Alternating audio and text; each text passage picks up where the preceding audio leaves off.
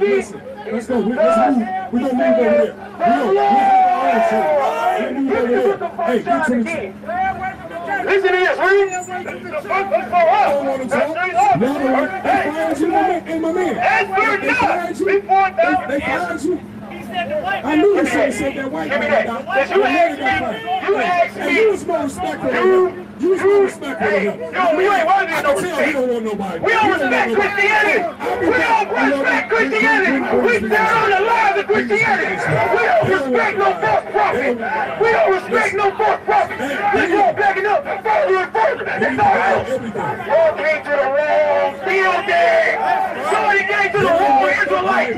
Give me Proverbs. You got that? We wanna. I'm gonna show you why we not. Why we not having no conversation. Read. Proverbs chapter 26 and verse 4. Answer not a fool. Because this one, Read again. Answer not a fool. Why we ain't having a conversation? Answer not a fool. Answer not a fool. Y'all niggas some fools. That's why we having no conversation. Read again. That's six eight. Wisdom too high for his ass. Wisdom high for his ass. Read again. Wisdom is too high for a Hey, fool. they don't want, they don't want the truth. Give me Proverbs Hey, 28. hey, come on, I'm- Now, ain't got nothing bring it to back, run Bring it the back. block. Ain't got nothing to run on the block. Let's go. Hey, what we Let's go. doing, all right? Hey, Where is you guys? Come on, come on, come on. Proverbs Come on. chapter 28 is Come on, verse come on, 1. come on. The wicked flee when no man it. Joshua. They don't Hey, want hey, the what? it's Hey, Joshua season. Y'all better where's my camera? Hey, they better hear y'all on the east side of Detroit right now. Read it. The wicked flee. The wicked. When no man pursue it. When no man pursue it. Read it again. The wicked flee. The wicked flee. When no man pursue it. When no man pursue it. Read it again. The wicked flee. The wicked flee. When no man pursue it. When no man pursue it. One more time for the niggas in the back. Don't fall. Don't fall. The wicked flee. The wicked flee. When no man pursue it. Red light. Red light. Red light. Niggas that got ran off the block. Red light.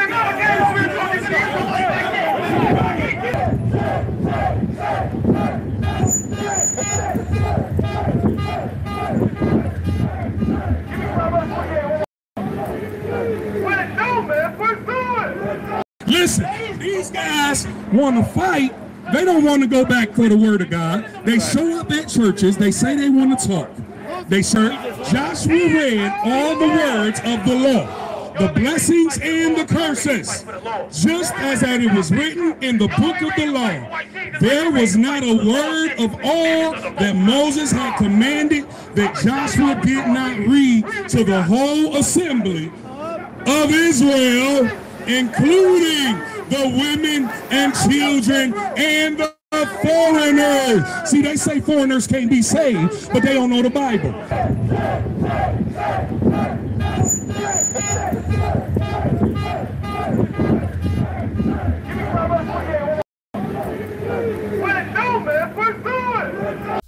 I want to give all the praises and the honor to Yahweh Bahashem, Yahweh Shai Bahashem, Rucha Ha Quadash, and double honors to the elder apostles and bishops of Great Millstone.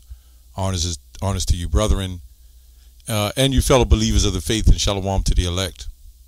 So anyway, I want to go in the second edition of this video. I, I continue to watch a little bit of rest of it. And uh, what I've seen is a, a complete ball of confusion. Uh, it looked like Elder Mike has lost control. uh, then um, what happened to IUIC is the same thing IUIC did to us. Uh, they bared false witness on IUIC and said they were trying to fight or looking to fight, and that wasn't the case. So I don't know where Elder Mike got that from, but it's weird. Um, these guys got up, got on a bus. I guess they thought about it the day, couple of days before that they were going to blitz um, IUIC, and then said they can get a couple of more views to sit up on a panel with Vocab Malone. And I, I believe this is all view and money oriented. When you really get into it, people love drama, and the, the more the drama raises, it's like a pay per view event, and you know people are looking for it. And you can see the comments. You know, you can see Elder Mike's the Christian urban apolog- apologist, their comments saying they can't handle the truth. Now, in IUIC, I'm sure in their comment board, eh, you know, they're calling them pork chop Christians. And at the end of the day, each person goes their own way and they still believe in the same damn thing. So where did it get you? In this particular IUIC group, with that brother that heads it, he's like on some five hour energy or something. I don't know. You know. I don't know what these characters do. Elder Mike, all of a sudden, he's always seemed to have a bald head, or maybe times he didn't, and now he's got a you know stack on top of his head. So I don't, I don't know what's up with these Christians and vocab and who trying to, you know, he was trying to exploit one of the bigger brothers from IUIC, when clearly these, you know, they got some big jakes in that Christian apologist. Now I don't know when they finish. Are they going to go uh, back to the church and get some pork chops and chitlins and greens and chicken? You know, I don't know, but that's what they do. They they claim to be apologists. They go out or they, they teach their garbage to our people, and then they sit up and eat all abominable foods. And then they happen to have a woman, a woman out there with them, and they're holding signs and pushing it in people's faces. Now, where's this going to go? All this is is entertainment purposes. But for the edification of this video, I'm going to go into something he brought out in Joshua. Just to let everyone know, sometimes, a lot of times, strangers can be heathen, but sometimes it is an Israelite. And let's say some sometimes you might look at it, it still doesn't mean that the uh, the um, uh, the foreigners are going to have the covenant and the giving of the law. But let's go into it. John 8 and 34. I'll try to read through this. 8 and 30? They just said 34. And afterwards, he read the word of the law of the blessings. Now, when you go up, you got to read the whole thing. Um, when it says, and all Israel, um, and all Israel, and the elders and officers and the judges stood on the side of the ark and on the side before the priests and the Levites, which bear the ark of the covenant of the Lord, as well, right, as well the stranger, as he that was born among them. Listen to what that said. Uh, it says, half of them over against Mount Gerizim, okay, and half of them over against Mount Ebal, as Moses, the servant of the Lord, uh, had commanded before that they should bless the people of Israel. And afterward, he read all the words to the law, the blessings and cursings, according to that which is written in the book of the law. Right? All that was written in the book of the law. There was not a word of all that Moses commanded which Joshua read not before all the congregation of Israel, right? With the women and the little ones and the strangers. You see how it was separated. That the covenant that uh, that were covenant that were conversant among them. Right? I mean, even when you fast forward to the New Testament, it'll say Jew and Gentile, Jew and heathen, right?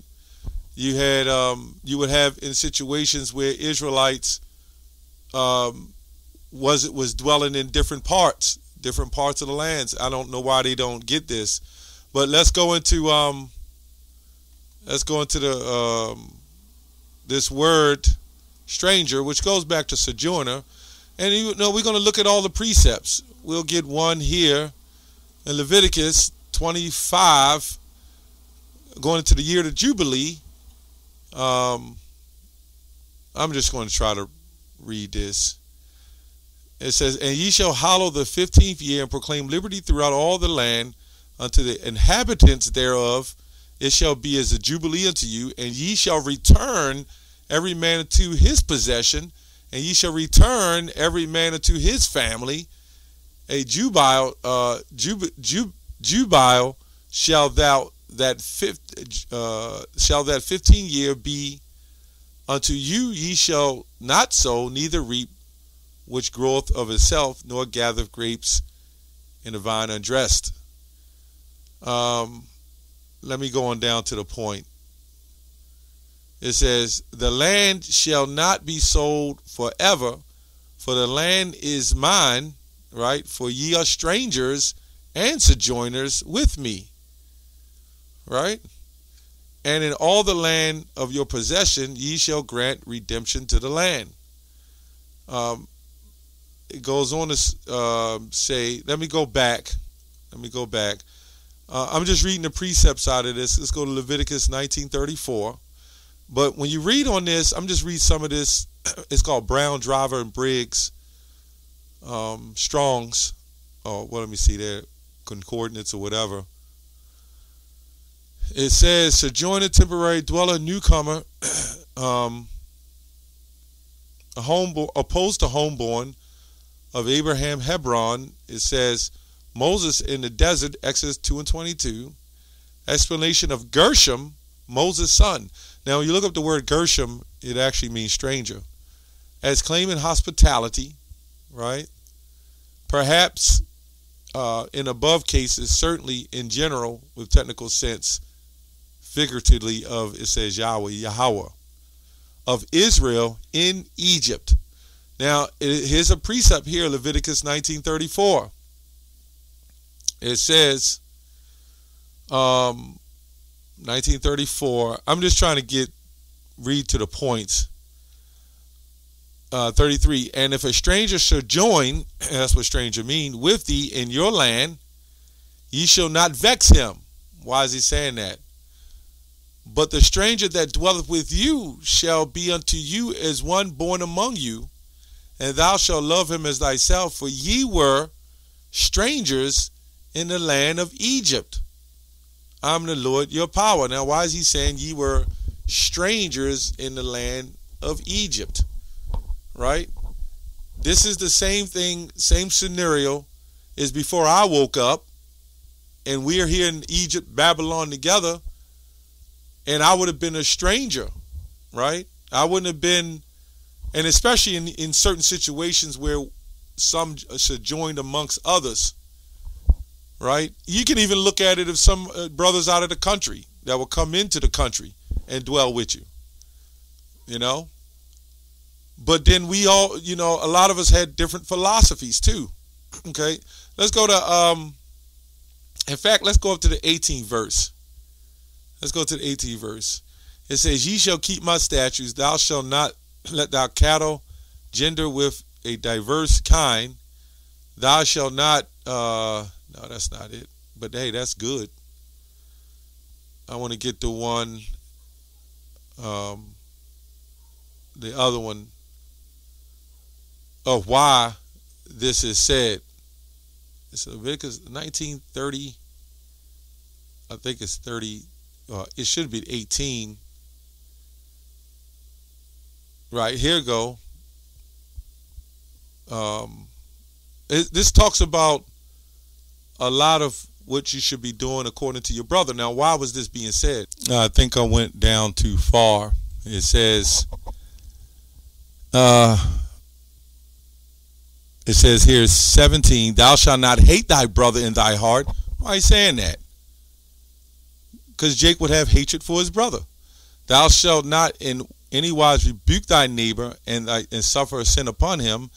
Thou shalt not avenge nor bear grudge against the children of thy people, but thou shalt love thy neighbor as thyself.